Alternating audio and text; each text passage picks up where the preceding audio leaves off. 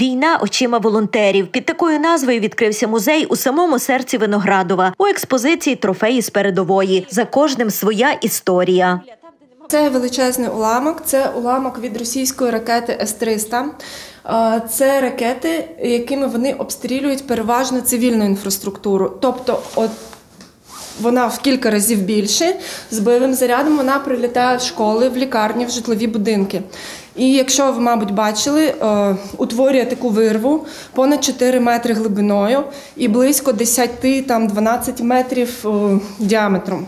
Вона вбиває наших людей, вона вбиває дітей. Усі експонати привезені із зони бойових дій волонтерами. Серед них і особисті речі окупантів.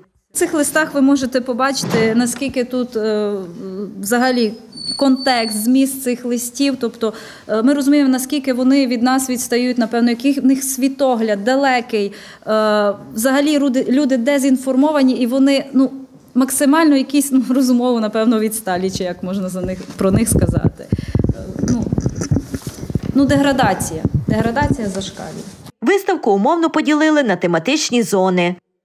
Тут е, ви можете побачити амуніцію, так? Е, отут чітко видно, е, як виглядає орк. Е, тут можна побачити залишки снарядів.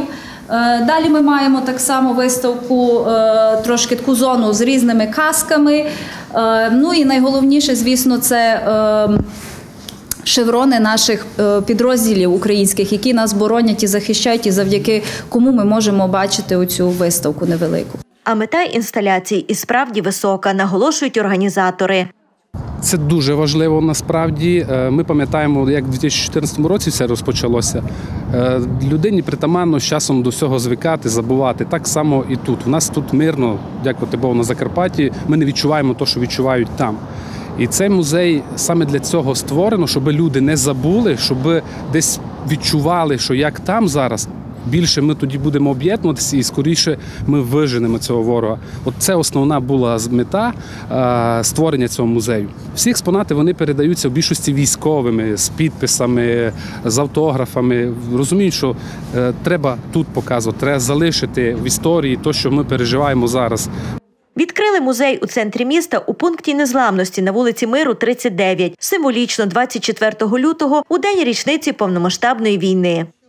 Ідея виникла спонтанно. Ми е, на Ізюмщині, як е, після того, як ЗСУ звільна- звільняло Ізюм і прилеглі населені пункти, ми їхали вдогонку за ними, до, до- завозили допомогу. І я пам'ятаю, село Заводи. Ми заїхали, там ще кажуть, слід руських не вести. Вони все позалишали свої речі. Ми прямо заїхали в село. е, Там бронежилет, е, там каска. Ну і десь така тут зразу вже появилася ідея. Це треба забрати, привезти додому, показати е, тут. Серед відвідувачів не тільки місцеві, а й переселенці діляться враженнями. Та все цікаве тут. е, Цікаво, ну сподобатися таке не може. Да, таке цікаве Неприємні такі емоції, тому що розумієш, що ми просто дивимося, хтось це, хтось це чує і бачить кожен день.